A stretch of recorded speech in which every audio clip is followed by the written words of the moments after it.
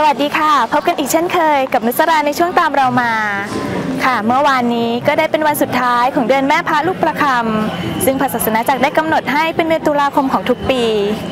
ค่ะ และถึงแม้ว่าเดือนแม่พระจะได้สิ้นสุดลงไปแล้วก็ตาม เราคริสตชนทุกคนก็ยังคงรัก และสวดภาวนาวอนขอต่อพระแม่ทุกวัน โดยเฉพาะการสวดสายประคำ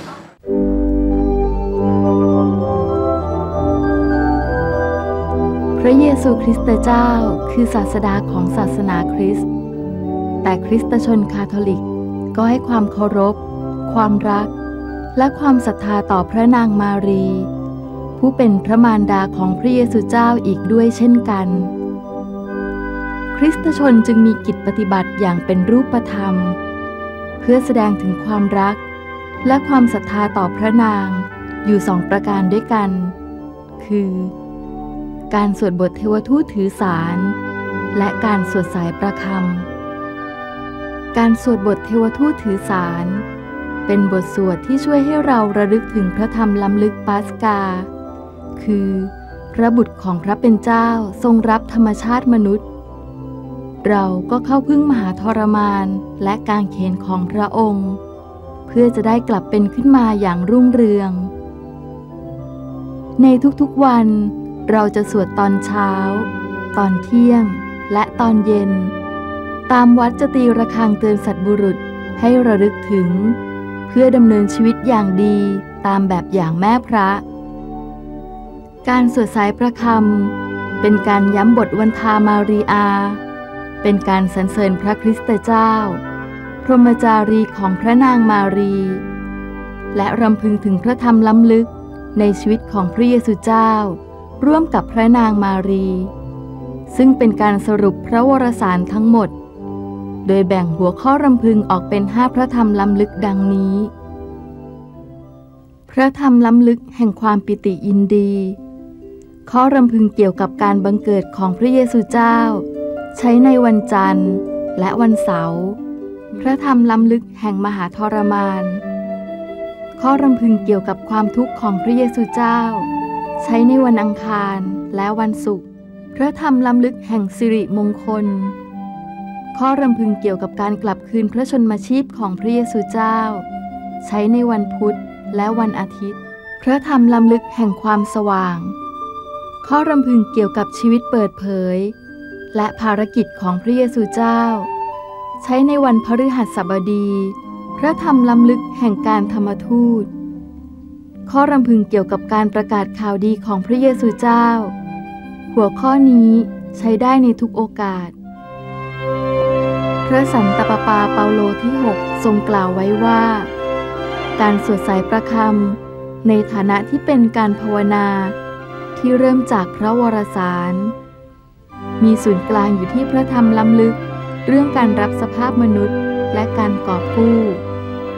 จึงเป็นการภาวนาที่มีลักษณะเกี่ยวกับพระคริสตเจ้าโดยตรง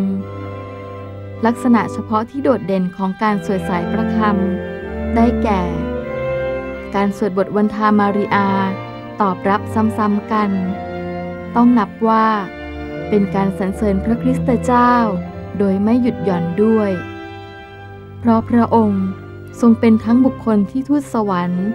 และมารดาของยอน ผู้ทำพิธีล้างกล่าวถึง ในประโยคที่ว่า โอรสของท่านทรงบุญนักหนา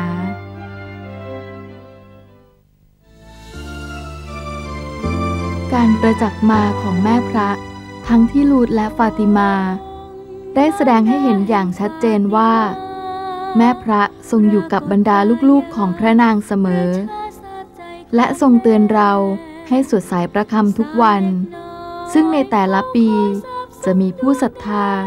ไปจาริกแสวงบุญที่สักการะสถานทั้งสองแห่งนี้เป็นจำนวนมาก เพื่อไปขอความหวัง ความบรรเทาใจจากพระนาง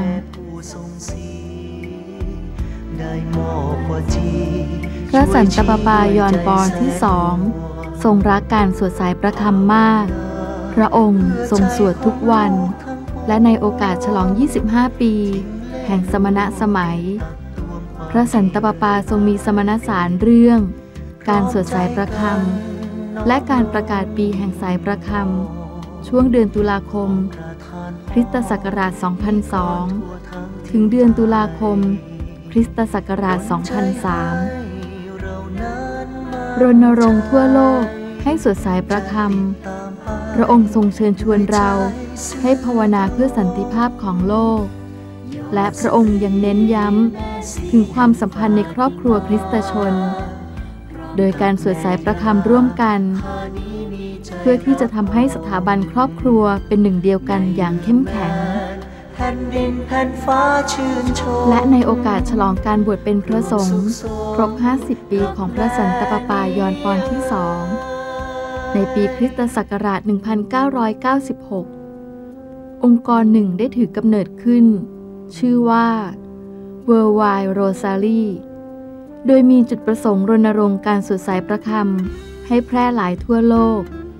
และได้กำหนดให้วันเสาร์ที่ 3 ของเดือนตุลาคมทุกปี ตั้งแต่นั้น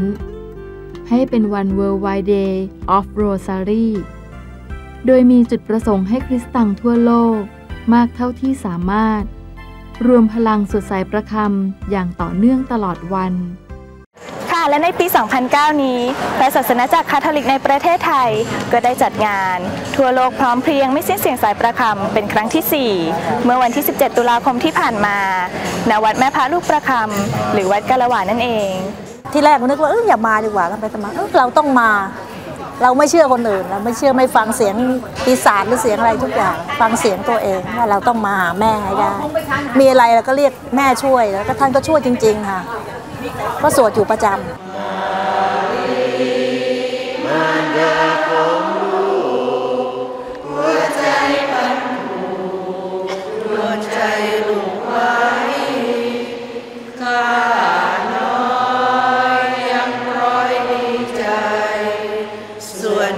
ของใจแม่มีลูกอยู่ค่าจิตใจดีขึ้นนะทำให้ ทำให้รักพระมากขึ้น แล้วก็สวดอยู่ทุกวันแต่ว่าต้องศรัทธามากขึ้นนะมีความสุขมากค่ะ ก็สวดอยู่ตลอดแล้วนะคะ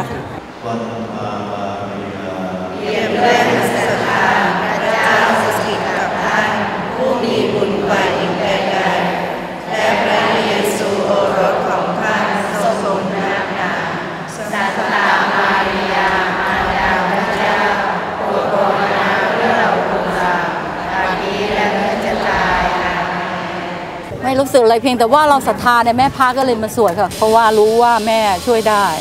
ก็รู้สึกว่าดีค่ะ แล้วก็รักแม่พระมาก